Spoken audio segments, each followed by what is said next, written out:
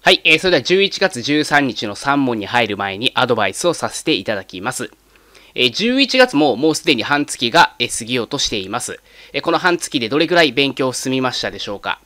今の勉強量で合格できるかを考えてみます。試験日まで11ヶ月ありますので、まあ、半月の22倍の期間があります。今の勉強量に22倍をかけて、え合格できるかを考えればいいだけです。例えば、この半月で過去問10ページ行ったというのであれば、この調子で勉強を続ければ、試験日まで220ページできることになります。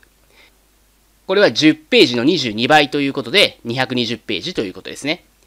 で、過去問っていうのは、まあ、何週かしないと頭に入らないので、半月で過去問10ページの勉強量では、これ全然足らないことがわかるんですね。220ページっていうと、おそらく過去問も、えー、1冊よりもっと少ないんじゃないですかね。つまり1冊も行えないということになるんですよ。まあ、これでは全然足らないわけですよね。なので、ちゃんと再度計画を立て直してみる必要があります。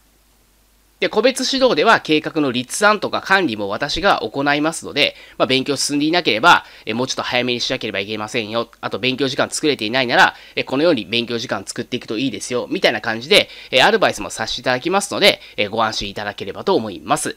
で、個別指導の値上げまで残り2日です。15日までは、え今の、え価格なんですけども、16日になってしまいますと、値段、え上がってしまいますので、その点ご了承いただければと思います。え今であれば、え合格していただく自信ございますので、え来年絶対合格しましょう。で、問い1ですね。A は B の代理人として、B 所有の土地について C と売買契約を締結したが、A は無権代理人であった。C がこのことを知っていた場合でも、C は AC 間の契約を B が追認するまでは取り消すことができる。丸か×かという問題です。考えたい方は一旦動画ストップしていただいて、動画の下の概要欄から問題文ご確認ください。答えはどうなっているかっていうと、これ×ですね。無権代理人の相手方、まあ、今回で言うと C さんですね。C さんは過失の有無にかかわらず、無権代理について善意であれば、つまり A さんが無権代理人だということを知らなかったのであれば、え本人の追認のない間は取り消すことができるんですね。知らなかった場合に限って、相手方は取り消すことができるんですよ。で、今回の問題では、相手方 C は無権代理人であることについて知っているんですよね。従ってこれ取り消すことはできません。従って誤りです。無権代理行為を取り消す場合、え相手方 C っていうのは税意が要件なんで、これしっかり頭に入れておきましょう。問い2ですね。え取引士、宅建士は、え常時取引証を携帯して、取引の関係者から請求があったとき、提示することを要し、これに反したとき、違反したときは、10万円以下の過料に処せられることがある。丸か×かという問題ですね。で、え答えは、え×です。取引士は取引の関係者から、え請求があったとき、まあ、取引書を見せてくださいって、え請求があったときは、取引書を提示しなければならないんですね。しかし、このルールに違反したとしても、過料に処せられることはありません。えつまり、え今回の問題は、え10万円以下の過料って書いてありますね。これが誤りなんですね。つまり、宅建業法違反にはなるけれども、え罰則の規定は適用されないと。罰則はありませんよっていう話なんですね。で、この部分細かいんですけども、えー、こんなことも出題されるんですね。で、まあ、どうしたらいいのって思われるかもしれませんが、もうポイントをちゃんと押さえていく勉強をするしかやっぱないんですよ。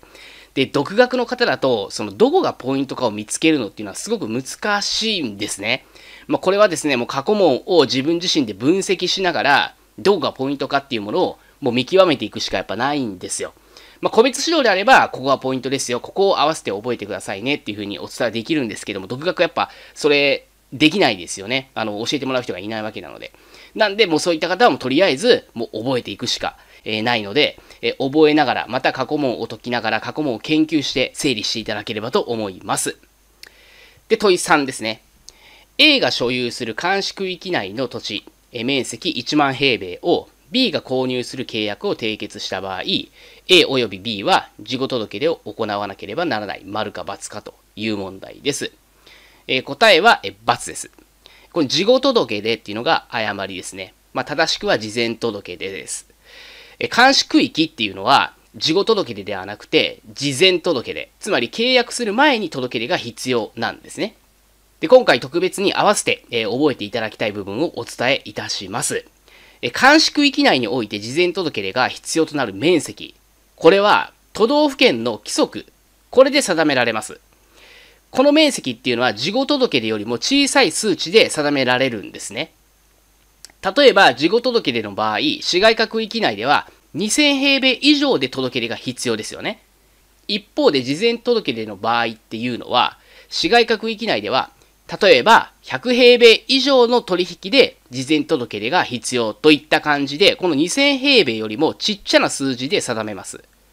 つまり、より小さい面積での取引、これも届け出の対象になってくるというわけなんですね。なぜかというと、監視区域っていうのは、それ以外の区域、つまり、事後届出の区域よりも、地価の高騰の可能性が高いんですね。なので、より注意深く監視が必要なんですよ。そのため、事後届出の面積、まあ、2000平米よりも小さい面積で定めて、届け出をするようにしています。で、さらに追加で頭に入れていただきたいポイントとしては、事後届出の場合っていうのは、飼い主のみが届け出義務者でした。つまり、売り主っていうのは届け出しなくてもいいんですね。一方で、事前届出の場合っていうのは、売り主と飼い主、双方が届け出義務者となりますので、この点も合わせて、え頭に入れていただければと思います。ま、今回監視区域についてちょっと、え詳しい部分までお伝えしました。もうこの部分理解できていない方、まあ、実はほとんどなんですね。おそらく独学の方だと、これ理解している方、どうですかね、10%いるかいないかだと思います。なんでぜひですね、今回特別に理解の仕方までお伝えしましたので、理解していただければと思います。え今日も最後まで動画ご覧いただきましてありがとうございました。レトスの小野でした。